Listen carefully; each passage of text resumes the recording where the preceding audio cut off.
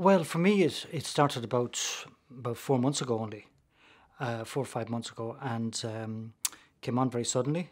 And uh, I, ooh, initially, the impact was pretty kind of uh, dramatic for me, and uh, I couldn't sleep at night, and you know, I just had these kind of uh, tough times with it, and um, I was trying everything to to um, going to different practitioners, if you like, to, to see what, what could be done.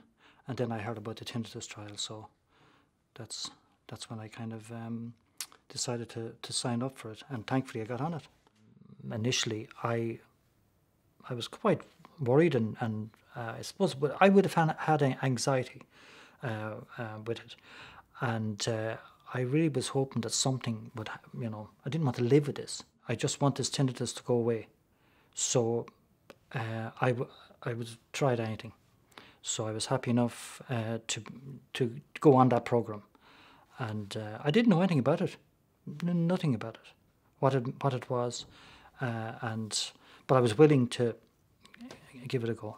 So I kind of got I got used to the routine of it, but it um, it was only two half hour um, sessions and uh, then, yeah, I mean, weekends were more difficult. You're out socially, you know, trying to slot it in was probably more difficult.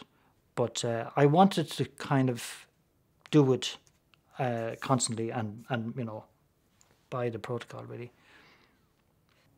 Um, and then I suppose that the happier moment was um, post treatment when I would go back in for the visits uh, in St. James's and uh, they'd say, "How is your tinnitus?" And I'd say, "Well, it's it's much improved actually." So that was that was great, you know.